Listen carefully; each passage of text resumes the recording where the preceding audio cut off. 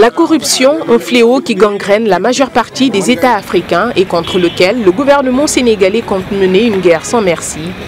Pour l'Office national de lutte contre la corruption et la fraude, cette stratégie vient à son heure.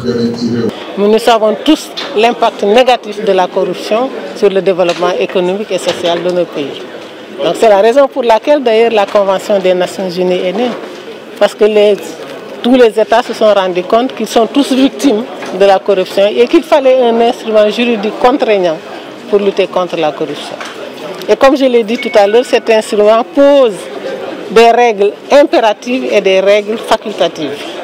La stratégie fait partie de ces règles impératives. Pour plus d'efficacité dans sa mise en œuvre, toutes les forces vives de la nation y ont été associées.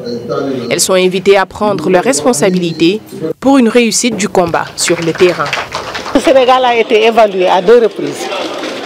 Et dans les évaluations, les évaluateurs avaient recommandé la prise d'un document de stratégie nationale, c'est ce qui vient d'être fait. Mais il fallait que les Sénégalais se l'approprient. Vous, les médias, la société civile, le secteur privé, et chacun a sa partition à jouer pour l'atteinte des objectifs qu'on s'est fixés dans cette stratégie. Avec ce document, le Sénégal rejoint ainsi le cercle restreint des pays dotés d'une stratégie anticorruption.